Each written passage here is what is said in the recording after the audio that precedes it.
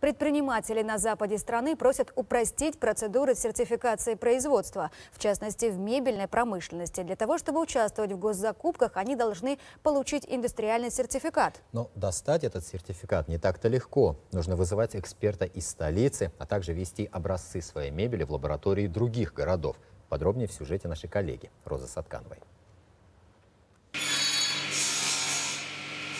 16 лет назад Айбулат Аяпов открыл мебельный цех. Продукция его востребована не только в родном Женебекском районе. Предприятие единственное, выпускающее мебель в округе. Самая востребованная сейчас – кухонная мебель. От производства офисной пришлось отказаться, а раньше она составляла едва ли не половину всех заказов. Изменилась система госзакупок. Надо сертифицировать цех, а все эксперты в Астане. В общем, мы должны оплачивать их приезд, их работу, проживание, питание. Это обходится очень такой большой суммой. Потом у них требования, вот э, надо покупать такие станки, ну, большие, дорогие, но в наших условиях они, как бы сказать, избыточной мощности.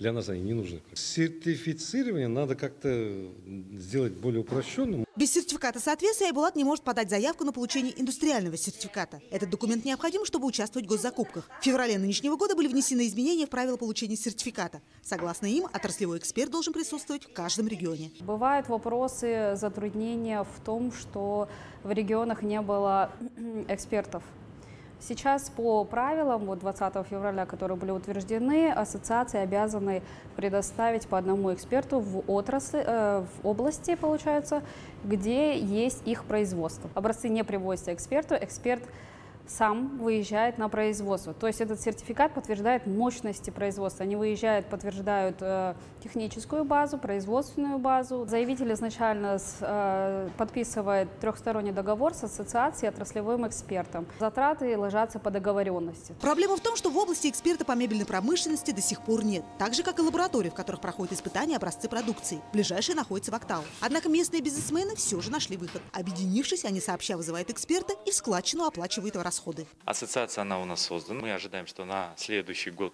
э, уже аттестацию специалист пройдет аттестацию, и уже у нас будет данный специалист, данный эксперт. С созданием э, ассоциации мебельной промышленности нашей области планируется, конечно, на базе наших предприятий создать данную лабораторию. Однако, если предприниматель, он хочет прямо быстро это получить, не дожидаясь там января, мы можем э, вызвать специалиста в купе в нескольких компаний, которые на сегодняшний день тоже планируют брать индустриальные сертификаты, поэтому затраты будут минимальные. В региональной палате добавляют, жалоб от предпринимателей не поступало. В области три предприятия мебельной промышленности в этом году получили индустриальные сертификаты. По всем отраслям в Казахстане выдано 310 таких документов. Россаткана была Джарылгасов, Канат Махмутов. Итоги дня. Уральск.